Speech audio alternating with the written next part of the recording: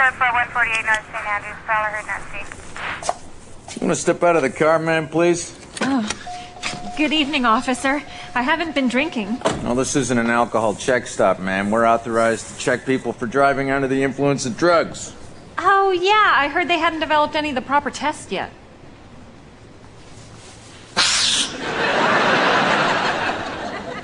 You've been smoking pot tonight? What? No, pot? Come on. Ma'am, I can smell Doritos on your breath. I had a craving. A craving, huh? Well, that's a telltale sign.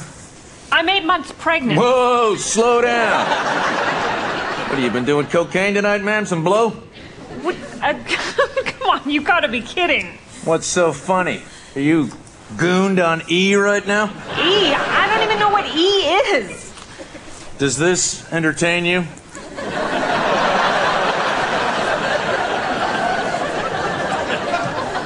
Well, yeah, the- a a little, I guess.